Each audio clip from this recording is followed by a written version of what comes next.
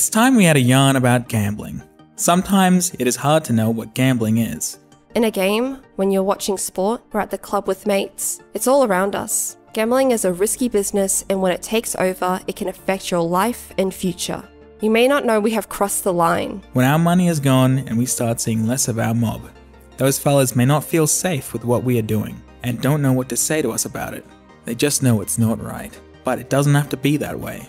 By reconnecting and starting the yarn with our family and friends, we can stay on the right side of the line. Together, we can take back our power over gambling and strengthen our spirit. There is even a free support service called Gambling Help Queensland that can give you tips and ideas about how to manage gambling. Jump onto the website or give them a call on 1800 858 858. Here now, make your friends and family proud. Be brave. And let's start yarning about gambling.